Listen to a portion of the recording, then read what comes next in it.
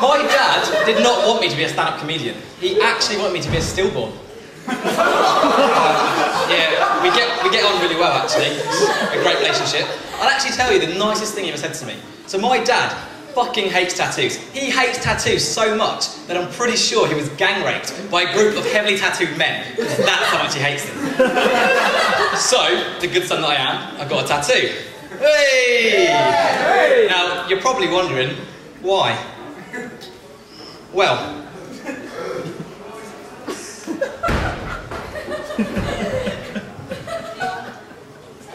it's obvious, isn't it? Really? Let's be honest.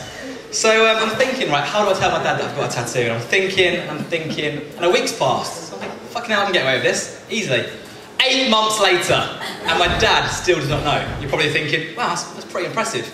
No, I just wore t-shirts. But, um, so at, at this point, I've got a family in Australia that I've never met, and they know I've got a tattoo. My dad still does not know I've got a tattoo. And then, something really weird happened actually. My dad woke me up for work one morning probably thinking that's not that weird. Well, actually, some months he hardly spoke to me. So uh, this is what happened. Boom! That's probably a bit dramatic. It was probably, it was probably more like this.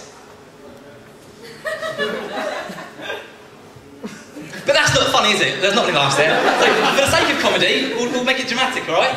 This is how it went. Boom! I'm let no laughs there. okay, in that case, it was like this.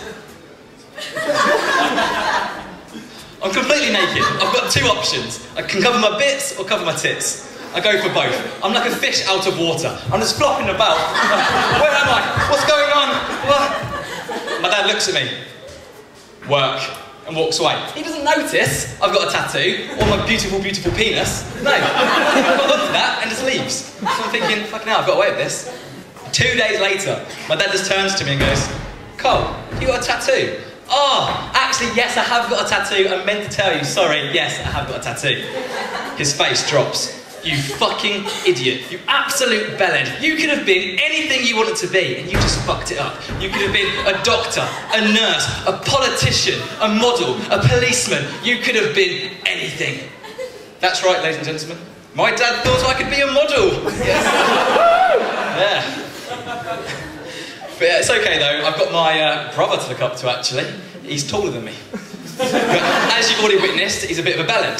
So, uh, so I apologise. So, so recently, in a job interview at a, a bar, and they asked him to give examples of customer service. Rape. technically, technically, he's not wrong. If I ordered a sandwich and got some rape, I'd probably be upset. Like you, you've come for some comedy. If you got some rape tonight, you might be a bit. No, no, come off topic, come off topic.